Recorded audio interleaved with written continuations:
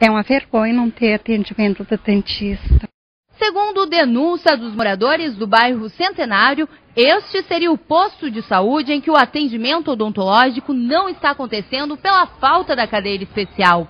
Moradora há 20 anos do bairro, Dona Neiva fica indignada ao saber que não está tendo consultas com o dentista por este motivo. Monte de gente precisando e, e não tem, né?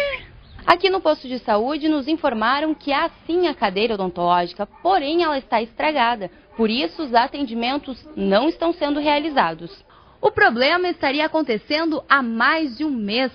Segundo o diretor de saúde bucal de Lages, realmente o equipamento está com problemas. Ele diz ainda que essa não é a realidade de apenas uma unidade e que vários outros equipamentos estão com defeito.